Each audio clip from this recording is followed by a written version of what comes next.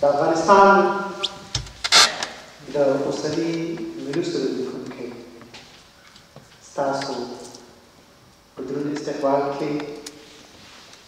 راغواړم زموږ او ستاسو د ټولو درود مېلمه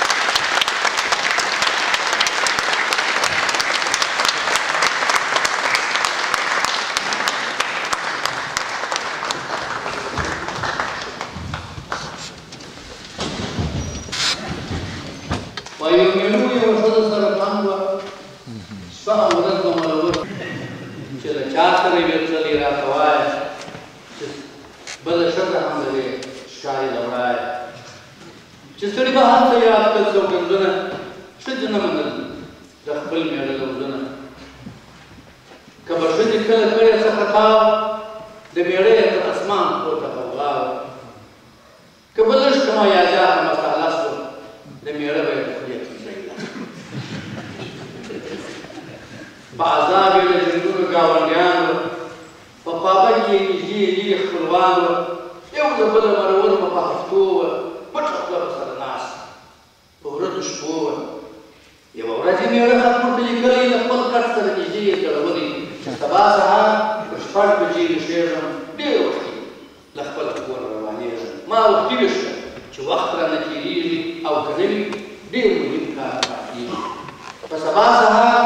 چې کښېنستی له خوبه له غضبه رېسېدی تر لېونتوبه نه بجې وې د لمر وړانګې ځلېدلې تر زخمي زړګي يې وينې څڅېدلې چې له ګوتو پرانيستله خوله غوغا ده يو ناڅاپه يې سوپام د بستر خوا ته يوه پاڼه پر بستر باندې پرته وه په روښانه ليک جمله پر نوشته وه شپږ بجې دي ته تر اوسه لا ويده يې ژر راکښېنه وخت تېرېږي خپل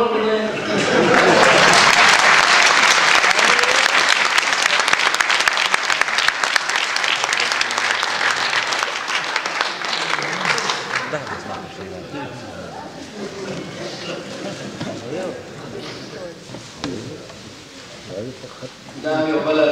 لنډه کیسه ده چې د یووالي د لړم دوستي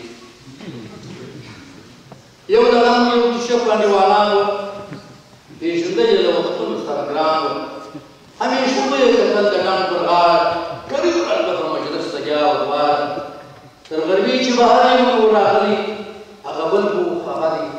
تريو تريګل يوه ورځ چې شخ د ډنډ منځ کې روان و نس يې موړ و په نڅا و خوښ خندان و شا و خوا يې په لړم پسې کتله د خپل يار پته يې نه ورښکارېدله چې کتل يې د اوبو منځ کې لرګی و، د لړم د پاره هر ګړی مرګی و، دړم ناست و پر لرګي اوبو راوړي د لوی ډنډ په منځ کې بند نصيب وهلی و، کله پورته کله کښته به روان و، د مرګي پر پوله ګرځېدی حيران و. د اوبو منځ ته راوړي کوم توپان و، ډېر جدي د مرګ له وهمه ځان ته ګران و، کشپ ولي دي لړم چې سرګردان و، د اوبو په منځ کې ګیر مرګ یې په ځان و، په یوه غوټه یې خوا ته ور روان سو، پر لړم اشنا یې چاپېره نګهبان سو، ویل ژر سه په اوږو کې مې سپرېږه، د مرګي له وږو سترګو پناه کېږه، لړم ژر د خپل اشنا په څټ کې سپور سو، کیشپ کوچې ته روان شو، مخ پر کور شو، له مرګي څخه یې زور یار وژغورلی، په خپل زړه کې یې خپل ډان باله ښاغلی، لا کیشپ د ډان په منځ کې پښې وهلې، لا یې څنډه د اوبو نه وه لیدلې چې لرم یې په مرګي شخه له شه کړه، پر کیشپ باندې یې سپینه ورځ تیاره کړه، ټول بدن یې شو له درده چاکي چاکي، هم یې ژبه همې ستونې سوتڼاکې له لړم څخه یې وکړله پوښتنه چې ظالمه روح مې الوځي له تنه څه ازار مې دي په ژوند رسولی چې دي نیږ زما زما د مغزي تر پوست ایستلی زما نیکي چې دې په زهر وکړه بدله په رښتیا چې یې نامرده له ازله لړم وویل په درد دې زه غمجن یم هسې نه چې ګوندې ستا سره دښمن یم زه دې وینم زما له نېښ څخه کړېږې زما د زهرو له اثره کبابېږې زه لړم یم نېښ وهل زما خاصیت دی له نیکونو راته پاته دا عادت دی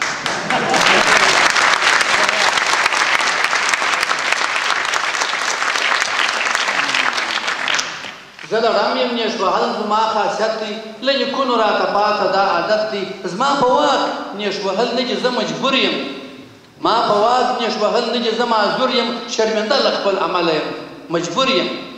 کشپ ډوب سو وایي زما وار دی لړمه ته لامبو کوه چې زه بیرته راځم زما عادت دی په اوبو کې چې ډوبېږم چې هر څونه ښکته ځم خوشحالېږم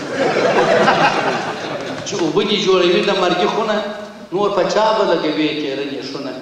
چي دي زهر دي په خټه کي اخښلي په سزا کي دي څپې در رسېدلي زما به جوړ سي ستا را کړي ګوزارونه ستا به ورانه سي د تل د پاره خونه ته ډوبېږه زه به ګرځم په څپو کي زکندن به دي ډېر سخت وي په اوبو کي نور به زهر په خپل دوست نه سې چښلای په دوستانو به نېښ نه سې لګولای په بدي به نېکي نه سې بدلولای له آزاره به خوند نسي اخیستلی.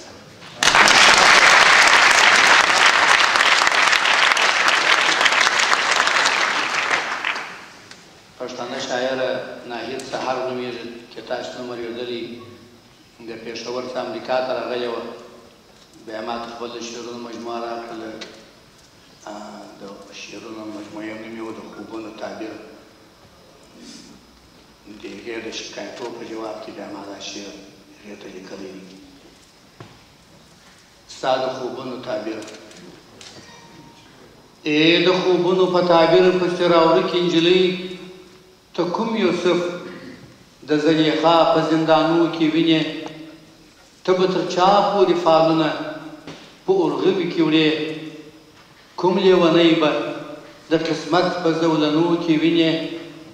درته موسکۍ به شي په لاره کې ترينګلی نصيب که په تندي کې به ازل په اندېښنو کې وينې ته له خواږه وطنه والوتې ښايستې مرغکۍ په امريکه کې دي خوبونو ته تعبير لټوې. تا د ښکاري له نومو خلاصې کړې یاغي وزري په خپله خوښه دي خیالونو ته زنځیر لټوې ته چې رنګینو تنیستو ته تصویرونه راوړې چې د غزل په خکرونده کې دي خیالونه کرې ته چې د رنګ پر مځکه شرنګ د پایزیبونو وهې چې د ګونګرو په ژبه نقل د کرمونو کوې د ځورندیو له جهانه چې سرې سترګې راځې څوک به دې اوښکې پاکوي په چا دردونه منې ته د خوبونو تعبیرونو ته تر کومه درومې چې لا دې پښو ته د حالاتو زولنې لوېدلي ستا د بیړیو شرنګاشرنګ یې ویښولای نه شي چې پر لېمو یې وي خوبونه د پېړۍ منلي ته به یې څرنګه شنوا کې دا کاڼه غوږونه چې دې پر شونډو وي مهرونه د حیا وهلي څنګه به وړې هغو تیارو ته د نور ډکې لپې چې له انګړه یې وږمې وي د سحر شړلي. تا چي کيسه کول سپوږمۍ ته په غمجنو شونډو ورته سپړل دي يو په يو د تنهايي رازونه ما ويل زه به دي خوبونو ته تعبير لټوم ما دي ليدله د